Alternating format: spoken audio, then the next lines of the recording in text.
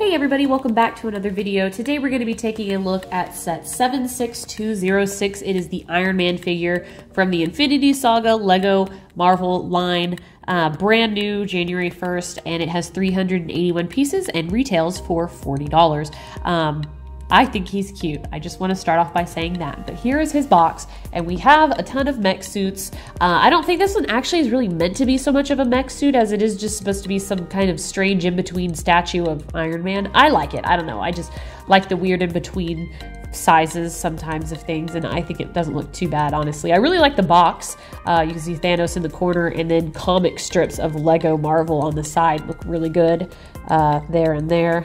So really nice, part of Infinity Saga. So I guess anything's to fall under that branch for the most part now. That's not active movie release. Good Marvel box on the side. And I don't have Marvel often enough to actually know if this is new packaging, but it looks really good. I am Oh, on the back it's it's Lego Thanos. I like that. And then you can see Iron Man flying. There's a light brick included and he comes with his little stand. So pretty cool. I really also like the size of this box. Sometimes boxes have weird sizes.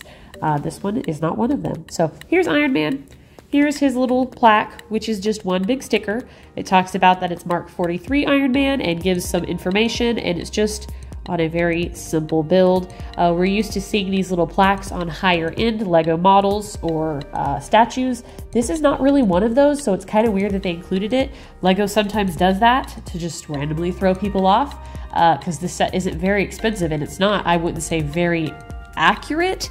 Um, it's got lots of detail, but like it's not the most accurate build that they could ever do. But it has a plaque, so whatever. Um, I think it's cute still, nonetheless. Taking a look at Iron Man, and I think my biggest complaint with him is his head is large. It's overly large. It should be a little bit smaller, and it's not quite proportioned to his body.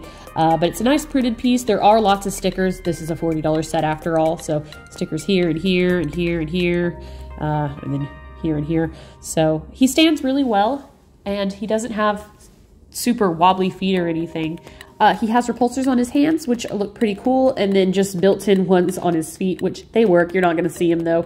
Um, this probably would have been a cool, uh, a cooler model had they included a way to make him like fly and lift off the ground. That would be obviously more expensive, but might make this a little bit more playable or displayable because it's it's playable because it's articulated, but I mean displayable. It's there. It's just not the best. Um, I think that this is a good complement, though, to the Iron Man helmet.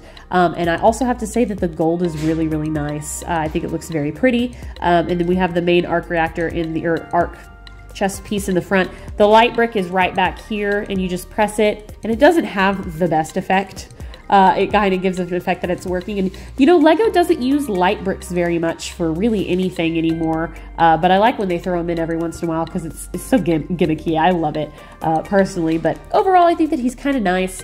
Uh, and then he also has some little blast off sections here and here, which look cool. The backside doesn't look bad. It really reminds me of the uh, Star Wars Build-A-Figures that we got back in like 2015 and 16 and 17, only this one's just much more brick built. It doesn't have any large molded pieces and it just reminds me of that. I liked those, but a lot of people didn't, so a lot of people might not like this. I personally like it. I think it's cute. And then it moves. You can put it in all kinds of different poses and the poses hold.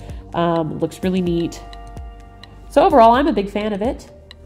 Personally, I think that it's cute, but I definitely see how it's not going to be up everybody's alley, of course, but that's what this review is for, is to help you decide. But anyways, there he is, and I hope you guys enjoyed this video. Let me know what you think in the comments below, and as always, thanks so much for watching. Bye, guys.